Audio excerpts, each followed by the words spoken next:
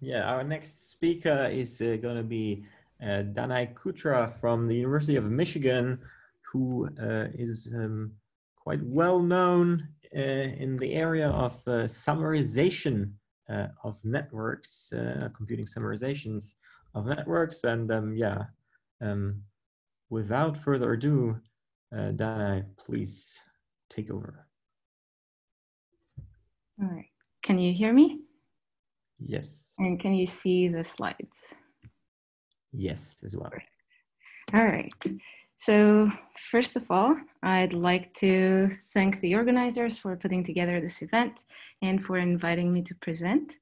Uh, I would also like to thank all of you for joining this meeting and also my live audience over here, um, my dog, who will voluntarily be an attentive listener today. So now you know what my setup is, even if my video is not on.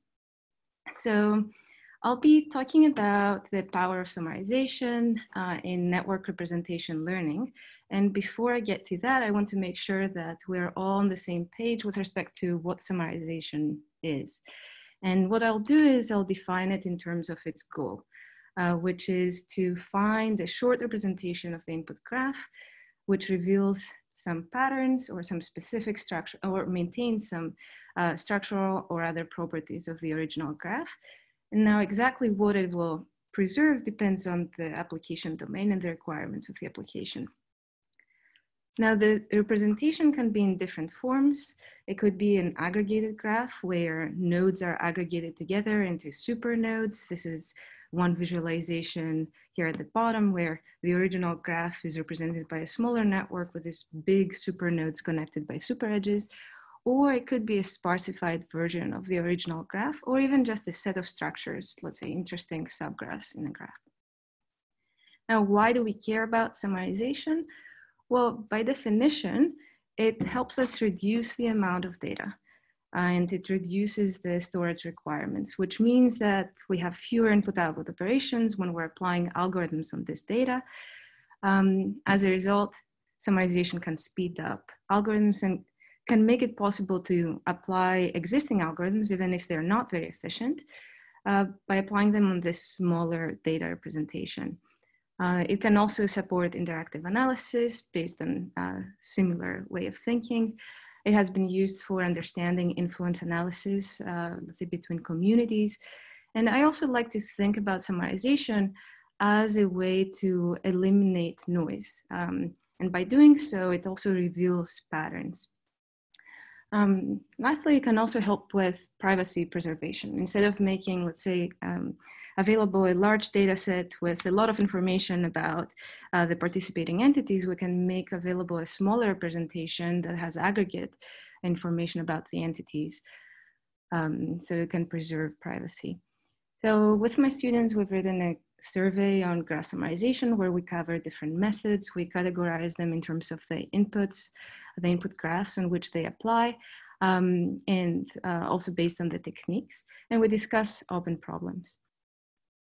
So over the years, uh, we've worked on a lot of different aspects of summarization. We've introduced domain-specific summaries, interactive summaries, latent summaries that I will discuss later today, um, as well as different types of summarization knowledge graphs to enable on-device computing or just error detection and completion of knowledge bases.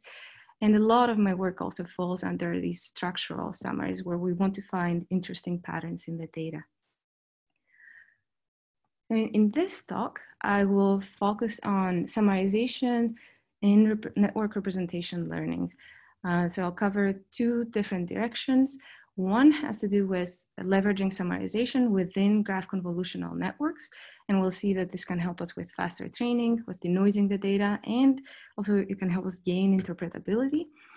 And the second uh, direction is um, we call latent network summarization, which can be used for compression and on-the-fly computation of node embeddings. So I'll start with um, the first direction, and I want to set up the problem that I'll be uh, referring to, which is neural network-based classification. So imagine here that we are given a set of networks Uh, each network has an associated label. And what we want to do is come up with an efficient, interpretable, and parsimonious model that can accurately predict this label. And it can also explain why it's making this prediction. Now, this is motivated by an application that Michael referred to at the beginning of his talk as well, um, which is uh, in neuroscience. So we have several subjects. Uh, for each subject, we have their um, fMRI-based brain graphs, and we want to classify these brain graphs. And what we want to predict is a phenotype, for instance, cognitive or intellectual ability of these subjects. Now, of course, in graph classification, there's a lot of related work, right? There are linear models that can be used. Uh, and actually in neuroscience, they use uh, a lot of uh, ICA. These are great models for denoising the data, but they don't capture nonlinear interactions that have been found in real data sets. On the other hand, we have neural network models that do capture these nonlinearities, but they require many training samples. Often lot, they learn a lot of parameters. They take long for training, and uh, they're often also accused as black boxes. Right, so um, the approach that I'm going to present briefly is called grouping-based um, neural network, uh, which is fast, parsimonious, and interpretable compared to other models that were proposed at the time when this work was published. So let me give you a brief overview of the architecture and then I'll go into a little bit more details. Uh, so as I said, this work is motivated by neuroscience, so I'll be referring to uh, brain graphs. And um, one standard way of generating brain graphs is to compute correlations between activations or activity uh, in different regions of the brain. So nodes correspond to regions of interest, edges correspond to correlation in activations in these regions. Um, since we're talking about correlation, there is negative, uh, there are negative and positive edges, uh, which I denote here with orange and black edges uh, respectively. Now, what we found useful in this architecture is to actually separate those two uh, representations and have two branches within uh, the neural network. Uh, so I'll be referring to the positive branch just because the negative one mirrors the positive one. So the first layer that we have is a node grouping layer.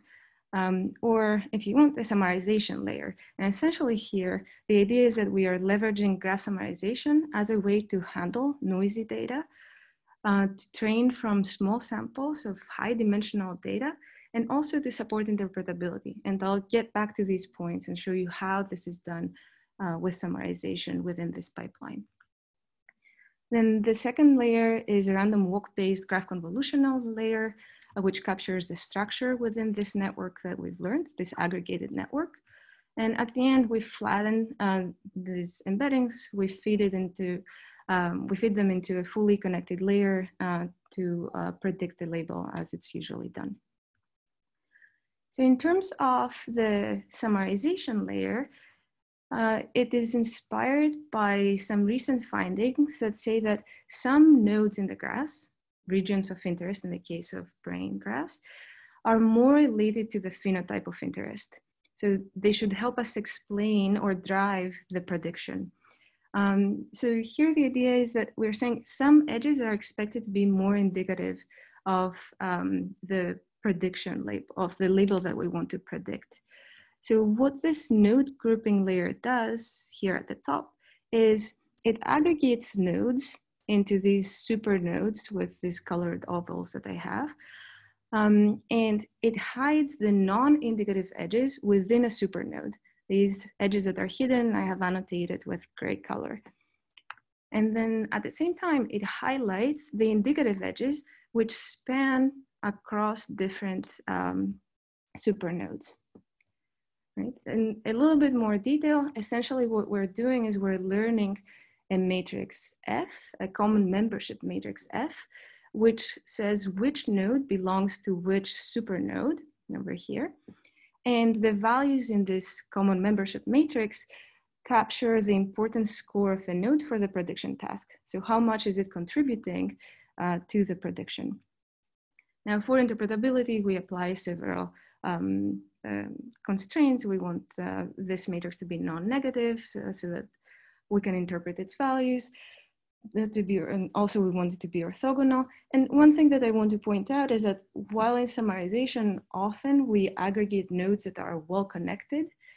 Um, here, this is not a requirement. We learn how to aggregate nodes so that we can highlight the important edges. Um, so over here, you can see some super nodes that have few connections between the nodes. Right, and, and here I'm showing you what the adjacency matrix of the supergraph is in terms of this learnable common membership matrix and the original um, weighted um, matrix of uh, the original graph. Now, the, in terms of the random walk-based graph convolutional layer, uh, what we're doing is we're using random walks because it is a useful tool for uh, sampling graph structure. And you can think of random walk scores as quantifying similarities between um, all the nodes in the graph and the original seed nodes that I have marked here with stars on the left. Right, so the output of each layer I that we have is this random walk-based um, representation, and then we apply a nonlinearity uh, like ReLU um, to, to find the final embeddings, to compute the final embeddings. Now, one um, idea here, and I'm skipping a lot of details, but one idea here is to use uh, different queries uh, to learn structure at different distances. And this is one way of probing more um, the graph structure uh, rather than sticking with, let's say, three seed nodes um, at all and learning the, the embeddings um, or the context at multiple distances. So let me show you some results for this. Um, first, some comparison with uh, neural network-based uh, methods uh, like diffpool, uh, CNN with one or two layers, and then GCN. And um, over here, I'm showing you the results for uh, graph classification tasks where we use fMRI based graphs that are coming from different tasks like emotion, uh, a task that involves emotion, another one that has to do with sound, uh, gambling or a social task or working memory. So in all these cases, we want to predict uh, co the cognitive or intellectual ability of the subjects. And I'm showing you the training time versus the accuracy uh, of the model. Um, so the takeaway here is that GroupINN is up to 69 times faster than these baselines, and it can achieve same or higher accuracy in different prediction tasks. The exact accuracy depends on the task. Not all tasks are equally um, meaningful or equally predictive of what we want to predict this cognitive or intellectual ability. Um, but the point is that we can train it faster because of this summarization layer that we introduced. Um, and you can see here why this is happening. Uh, so I'm showing you how many parameters GroupINN needs to learn versus how many parameters the other models need to learn. Uh, so GroupINN can use 15% or fewer model parameters, and it still achieves similar or better performance. Right? And this is again, thanks to this summarization layer. Now, the last point that I want to make is in terms of uh, interpretability. And you don't need to worry about all the names here. Um, all these different acronyms that I have correspond to different subnetworks, brain subnetworks that are defined by experts like uh, uh, ventral attention cortex or vision cortex and so on. And in um, this uh, table, I'm showing you for the different uh, tasks that we have or the different data sets, if you want, um, which are the top three brain subnetworks that each method identifies as most important for making the predictions. Um, the ones that I have here in um, black font are the ones that are expected to be involved uh, in these tasks and they are related to cognitive ability which we're trying to predict the the gray ones are not corresponding to anything that is meaningful to neuroscientists uh, so the takeaway here is that GroupINN helps us identify these task positive subnetworks. And these subnetworks are known to be active during cognitively demanding tasks. Right? While PCA and DiffPool, two of the baselines, uh, and PCA is a strong baseline uh, from non-neural network methods, uh, these are misled by strong noisy signals from mouth and hand motion. So during these fMRI sessions, the subjects are moving and they are talking, they're answering to questions, right? So the, these uh, other baselines capture a lot of these movements and less um, activity from uh, the subnetworks uh, that are related to the task and the, the attribute that we are trying to predict right? And this is again, thanks to the summarization layer, because what we are doing in order to identify these regions in the case of grouping our method is we're looking at the edges that go across different um, um, supernodes that we have identified in these supergraph representations, summarized representations. So um, um, I'll move on now to the second part of the talk, which has to do with latent summarization for compression. And so there's no question that embeddings are powerful, right? They are used in a lot of different downstream tasks. Um, and, but one uh, disadvantage that they have is that they do take a lot of space. Right? If you think about a graph with 1 billion nodes and about you know, the traditional dimensionality of 128, um, we need about a terabyte to store the embeddings for such a graph.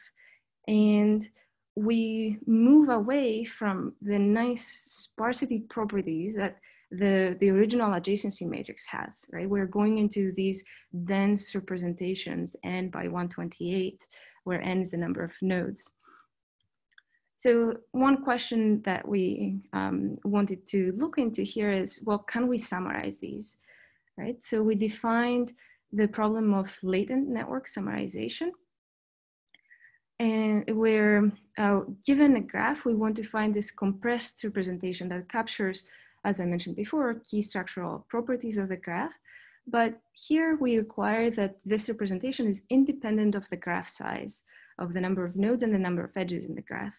And because we want to be able to support downstream tasks, we want to also be able to derive node representations on the fly. Right. So if I can summarize the difference between this formulation from uh, the, the works on representation learning, uh, node embedding, the, the main difference is that we're trying to learn a size independent representation while all the different works, and of course this list is not uh, inclusive here or comprehensive, um, all the, the other uh, works on node embedding learn one representation per node right? So if we have a lot of nodes, then there's a lot of representations that are being learned. So at a high level, um, we um, introduce uh, this uh, pipeline. So we are given a heterogeneous graph with weights uh, or without weights, with or without dimension, uh, directionality in the edges. And the first step that we follow is we apply relational functions in order to aggregate structural features in the graph um, in an automatic way. So you can think of this, you can think of relational functions as the cookbook or the recipe to obtain um, context. And uh, some examples of relational uh, operators or functions summation, uh, averaging, standard deviation, and others.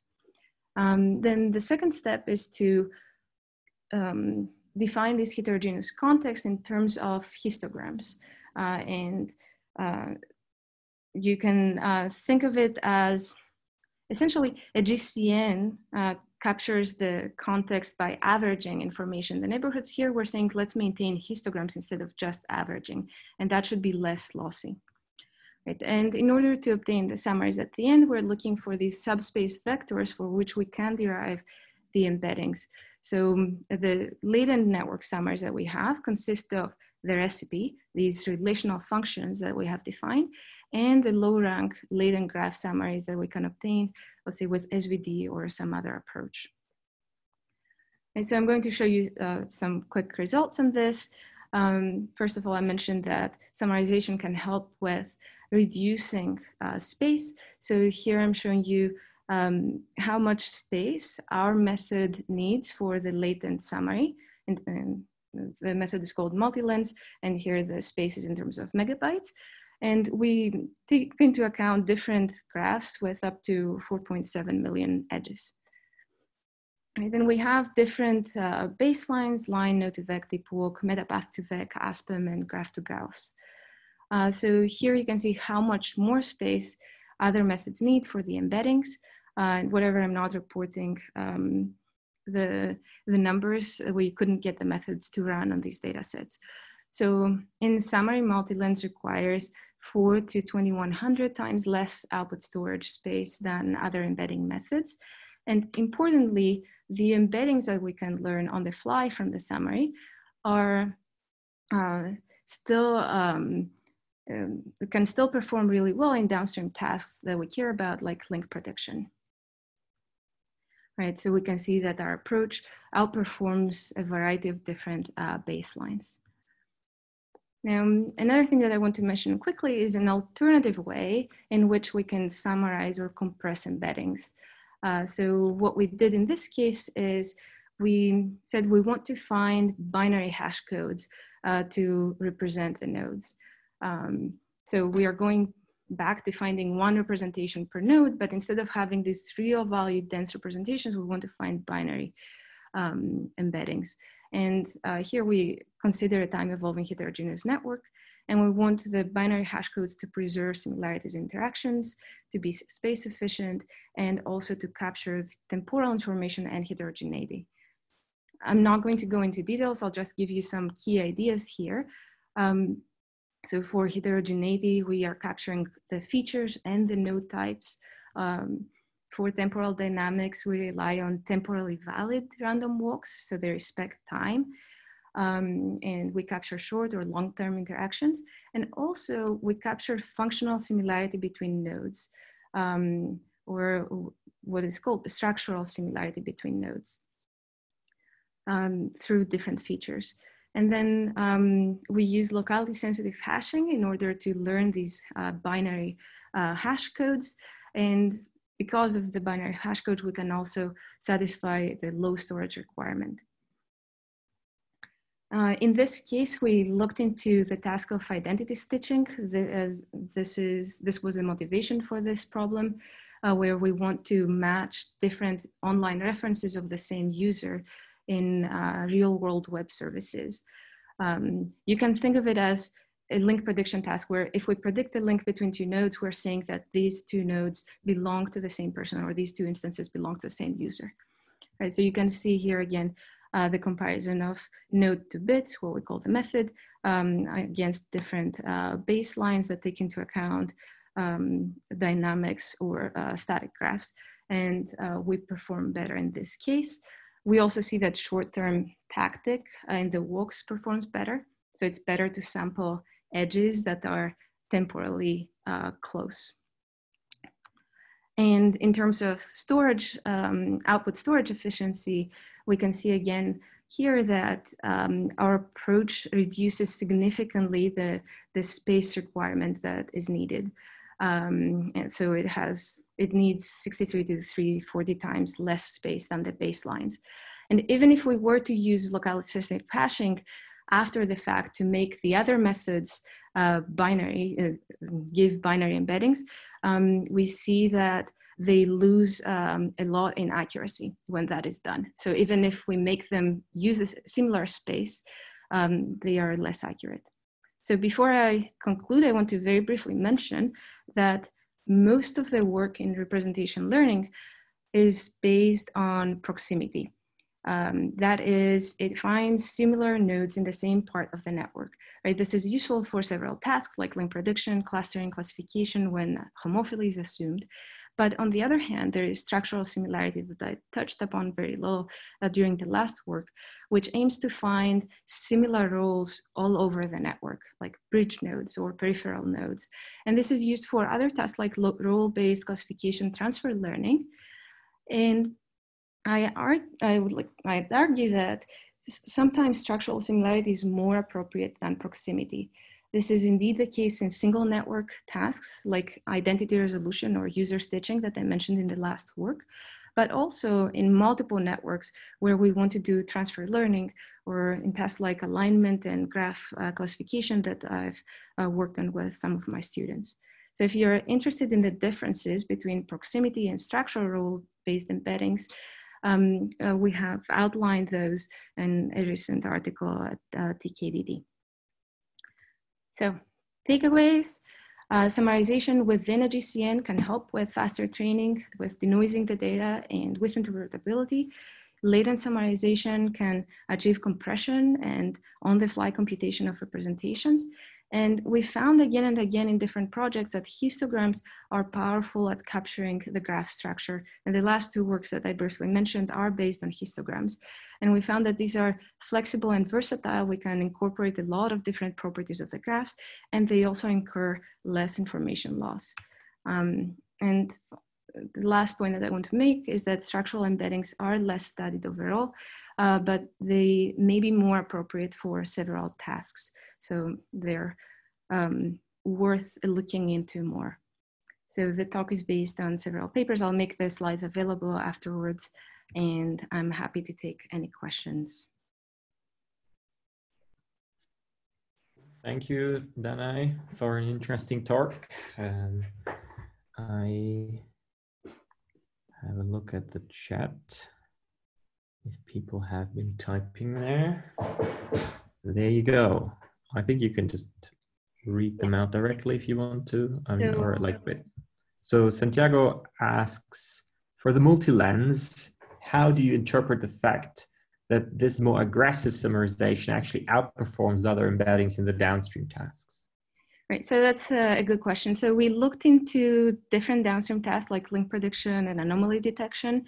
In this case, we are generating from the summary, we generate on the fly the embeddings of the nodes for which we want to make predictions.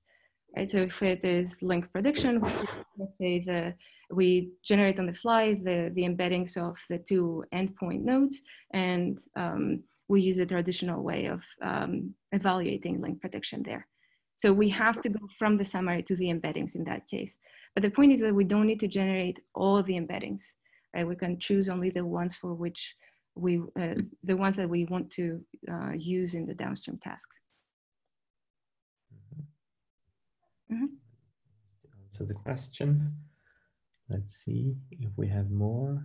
There you go. Austin wants to know if you have looked at different embedding dimensions for different nodes as a summarization technique. So one node having, I don't know, dimension five and the other 23 and so on. Um, so the reason being that a peripheral node might not carry much information, so it might need less dimensionality.